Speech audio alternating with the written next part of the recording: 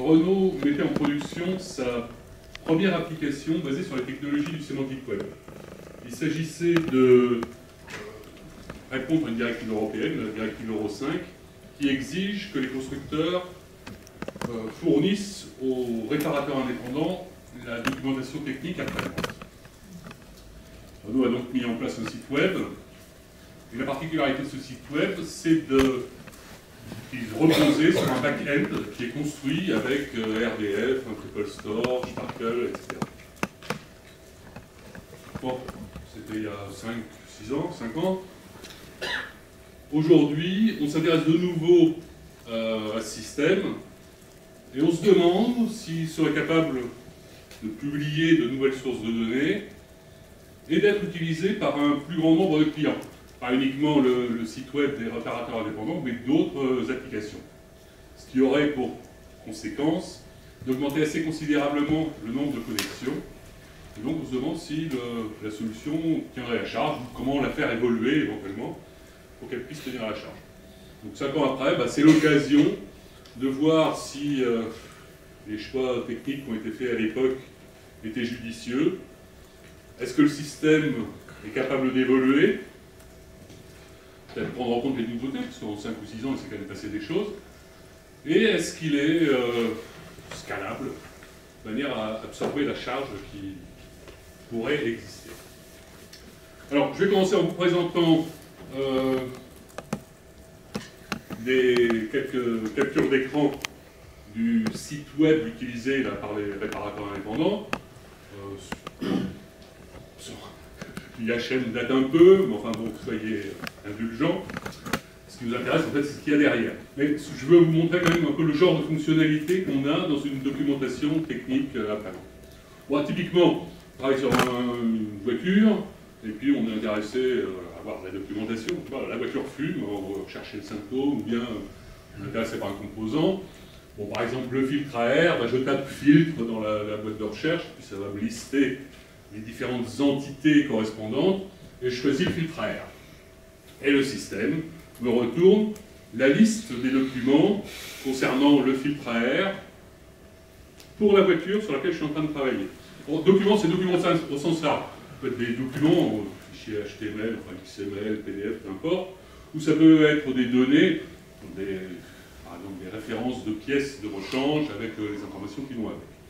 Bon, si je me préoccupe de diagnostic, bah, je clique sur le document diagnostic, et puis ça va m'afficher un, arbre de diagnostic, là, et avec des liens vers euh, d'autres documents, par exemple passer à la réparation. Alors, c'est un lien euh, dynamique, hein, il s'agit de aller à la réparation du filtre à air dans le contexte dans lequel je suis, c'est-à-dire sur la voiture sur laquelle je suis en train de travailler. Va voir le manuel de réparation, bon voilà, peu importe. Euh, on est peut-être intéressé aussi à trouver les références des pièces, parce qu'il y a besoin de la changer, de la commander. Voilà. Ça, ça nous fait à peu près le tour du type de fonctionnalité qu'on a dans une documentation technique après-vente. Et, euh, annoncer, tout ça, derrière ça, les données ont été modélisées, en, représentées en RDF. Et il y a un backend, donc repose sur RDF, un triple store, et des interrogations en Sparkle. Alors ce RDF, d'où il vient? Là, il a fallu bosser. Il a fallu bosser parce qu'évidemment, les systèmes qui produisent la documentation, qui sont éventuellement des systèmes anciens, s'étaient jamais préoccupés de RDF. Donc il a fallu bosser, pour récupérer des exports des différents systèmes euh, en jeu, hein, les pièces, de réparation, de diag, etc. Alors des exports dans divers formats, XML, Excel, avec en général plus personne euh, capable de dire ce que voulait dire vraiment les données à l'intérieur.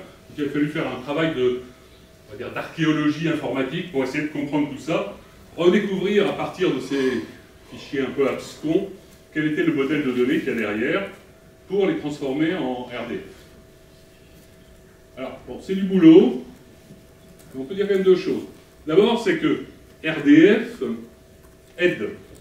RDF aide parce qu'on a ces facultés d'agrégation de données, toutes ces données de différents systèmes, on va mettre tout ça dans un, triple store, et les liens vont être, c'est-à-dire un peu pas magiquement, mais par le fait qu'on utilise des URI.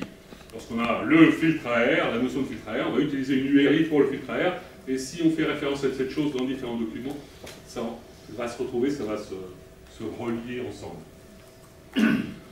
C'est assez facile hein, de créer des URI dans une entreprise. Toutes les choses en général des codes. Alors, ce sont des codes, tel code dans telle base de données, mais enfin, on arrive à partir de ces codes qui existent déjà, qui sont déjà euh, correctement documentés, à créer des URI pour les différents éléments sur lesquels on travaille. Enfin, c'est quand même du boulot. Néanmoins, c'est un boulot, je voudrais dire, malgré tout satisfaisant. Satisfaisant parce qu'on se dit qu'on bosse une fois, mais c'est la dernière fois qu'on va avoir à bosser sur cette chose-là. Parce que cette euh, modélisation, là qu'on a été obligé de se creuser un peu pour essayer de recomprendre ce que les gens avaient voulu dire, là on va l'écrire dans des formats qui vont être après, les formats RDF, hein, les schémas RDF, qui vont faire qu'après, bah, la prochaine fois, on n'aura plus à se poser de problème, les données seront là, le modèle sera là, euh, correctement représenté et facilement intelligible par des hommes, y compris par des machines. Bon. Ah, oui, une, spécificité de, la documentation euh, dans le domaine de l'automobile, c'est la question des applicabilités. Chaque document ou chaque euh, entité, chaque donnée a une applicabilité en fait qui définit l'ensemble des véhicules pour lesquels il est pertinent telle euh, référence de pièce, elle est pour telle référence de filtre à air, bah, c'est le filtre à air de la Clio avec un moteur, tel moteur.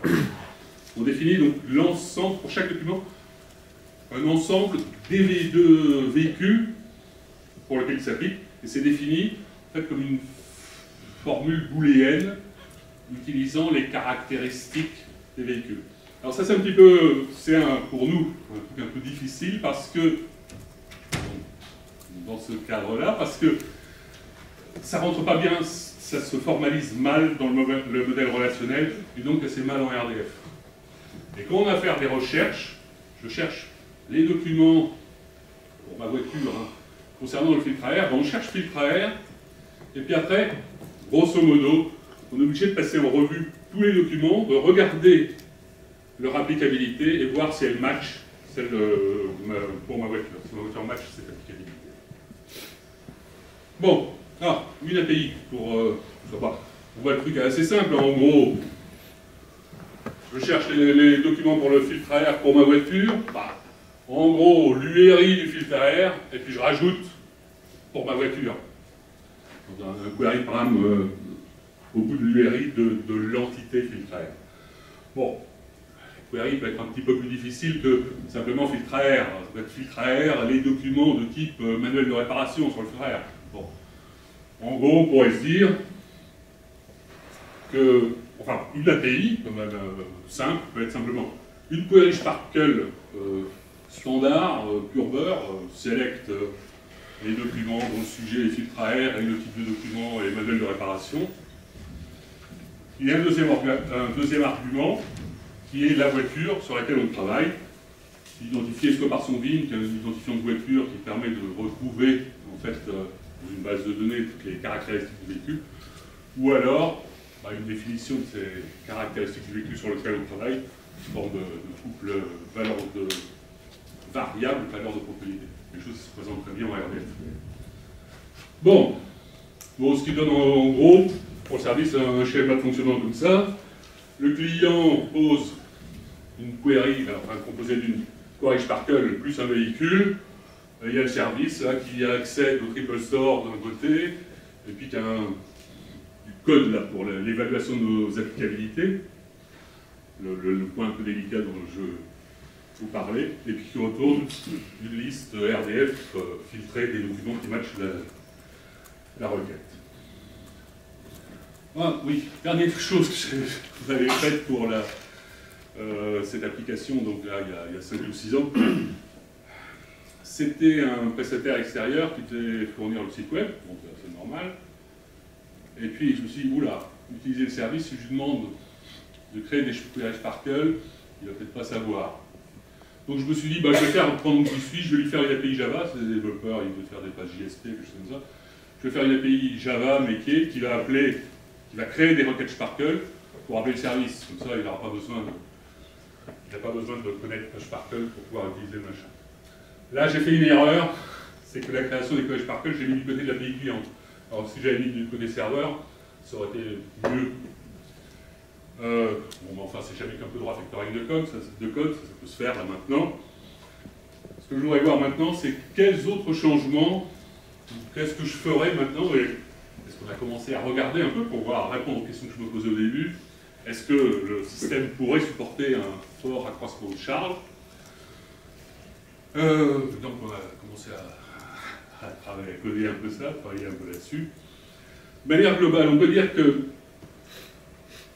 d'une part, on va supprimer l'API que je vous ai montré tout à l'heure avec une query Sparkle et un véhicule. On va euh, supprimer l'API client en Java, enfin la, réimplémenter en tout cas, mettre la génération des, des Sparkle côté serveur, pour avoir une API REST euh, assez standard. REST, link data, ça, euh, un aspect important. On va utiliser JSON LD, ça c'est quelque chose qui n'existait pas il y a 5 ou 6 ans. Ce qui est intéressant pour le développeur d'une euh, API client aujourd'hui, les gens aiment bien utiliser, manifestement les gens aiment bien utiliser JSON, et donc on va fournir du JSON LD. Bon, tout ça, ça, va bien.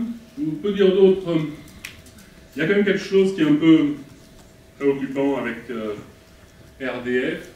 On a vu que c'était très intéressant pour l'agrégation des données, pour euh, la réconciliation des données. C'est un plaisir à programmer, mais il y a quand même un impact sur les. peut-être un impact sur les temps de réponse c'est Henri Erling de Open Software, qui connaît bien le domaine, dit bon, on utilise RDF, mais c'est une pénalité, enfin, c'est 10 fois, je ne sais plus s'il disait 10 fois ou 100 fois, plus lent qu'une base de données. Bon, bref, il y a quand même un, coût en termes de performance. Il faut éventuellement euh, essayer de faire un peu. Enfin, je suis un peu alerté par ces, ces questions de performance. Bon, Néanmoins, là on a fait un, proto de bah, ce que raconter une. Enfin, un proto, c'est un proto qui, marche.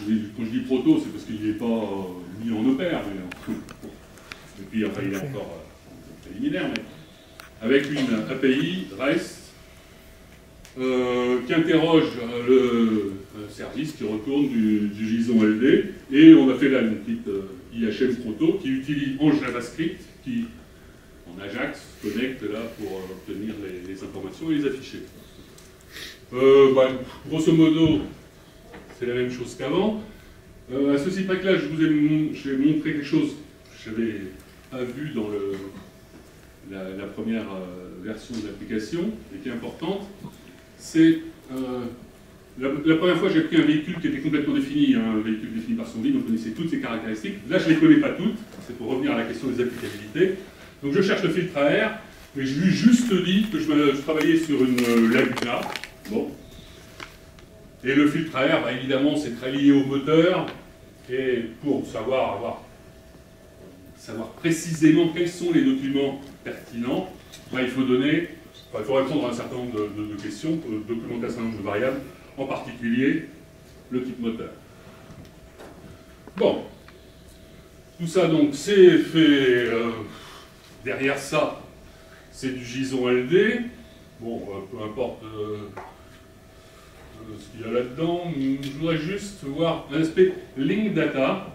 Peut-être pas forcément comme ça que vous voyez link data, mais qui est néanmoins, à mon avis, très intéressant, très important dans la façon dont on peut créer des, API. on a vu que j'ai interrogé les filtres AR, j'ai dit que j'avais une Angular 3 pour pouvoir dire précisément quels sont les, si un document ou une référence s'applique ou pas pour mon véhicule, il y a des variables des choses que je ne sais pas sur mon véhicule. Il faut par exemple que je documente le type moteur. Ben, cette information-là, elle est retournée dans les données, et elle est retournée de façon à ce que, bon, si je voulais choisir ici, par exemple, le moteur K9K, bon, le moteur K9K, il est là, et et retourner avec le lien qui permet de relancer la même recherche, le filtre à air, et pour mon véhicule, la Laguna 3, avec un moteur K9K. En d'autres termes, c'est le serveur qui crée les liens pour poursuivre la navigation dans l'application. C'est le serveur qui crée les liens. Le développeur de l'application de l'IHM client a juste, en gros, à afficher les données avec les liens. Point barre. Ça diminue le coût de développement du client et ça évite aussi des... ça garantit la qualité de l'utilisation que l'on fait, des... fait des requêtes. Éventuellement, un développeur client, il peut, s'il fait des requêtes malhabiles, éventuellement effondrer un serveur. Là, on garantit que les requêtes sont bonnes. Voilà, oui, liquid data, une limite. La question est formulaire. Si ma question, si la variable manquante, c'est par exemple la date de fabrication du moteur. Ça, je ne peux pas vraiment le rentrer directement. C'est un vieux manque dans les lignes data hein, qui sont basés sur les liens, mais le web, il y a deux choses. Il y a les liens et il y a les formulaires. Donc ça, ça manque un peu, mais bon, on commence à avoir des solutions. Euh, pour regarder par exemple Hydra, qui est un vocabulaire permettant en particulier décrire des liens en, euh, dans, une euh, API. Voilà, bah, conclusion, j'ai déjà un peu dit, RDF, ça, les choix n'étaient pas si mauvais que ça, RDF ça marche assez bien, il faut quand même faire un peu attention aux performances. Ok, merci.